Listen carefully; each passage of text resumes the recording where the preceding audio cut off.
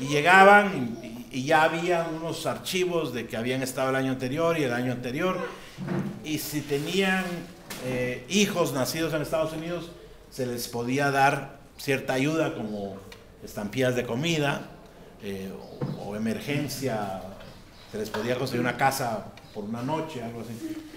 Y ahí fue cuando encontré el segundo grupo de migrantes en mi vida. Después de eso me mudé a Nueva York y ahí pasé mucho tiempo haciendo lo mismo que Jorge hacía en España, publicidad. ¿Por qué tenemos el... el Son las pruebas de abajo. Ah. Y empecé a... Tenía una amiga en el consulado de Guatemala, en Nueva York, la cónsul general, que un día me dijo, te invito a ir a un consulado móvil. Y fui y me acuerdo que era en Lynn, Massachusetts.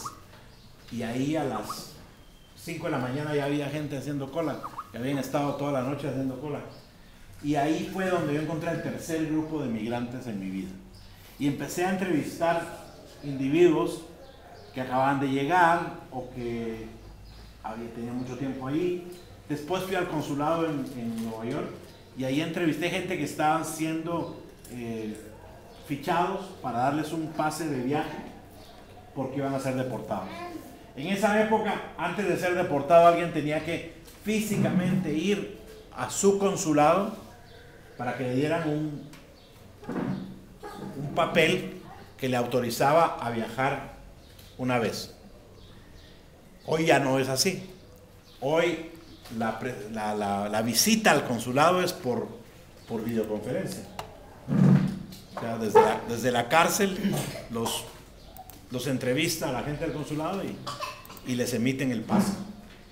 Eh, después de eso, continué haciendo comerciales, publicidad todavía un poco, pero cada día me llenaba menos lo que hacía.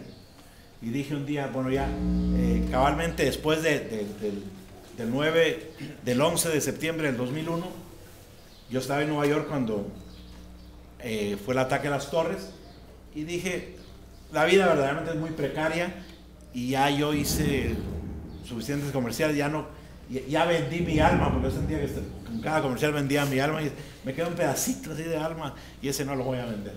Y me dediqué a hacer cosas que me llenan más, que no me dan plata, pero que me llenan.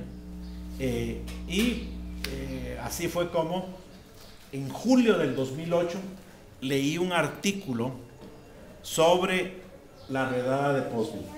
Fíjense que fue en julio y la redada fue en mayo. En mayo yo escuché, el 13 de, mayo, yo escuché en el radio mención de lo que había pasado.